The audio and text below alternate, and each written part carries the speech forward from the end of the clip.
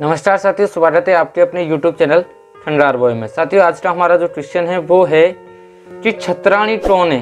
तो मैं आपको बता दूँ, छतराणी कहलाने का हट सिर्फ़ उसे है जिसकी डोली और अर्थी दोनों अपने क्षत्रिय कुल से उठे।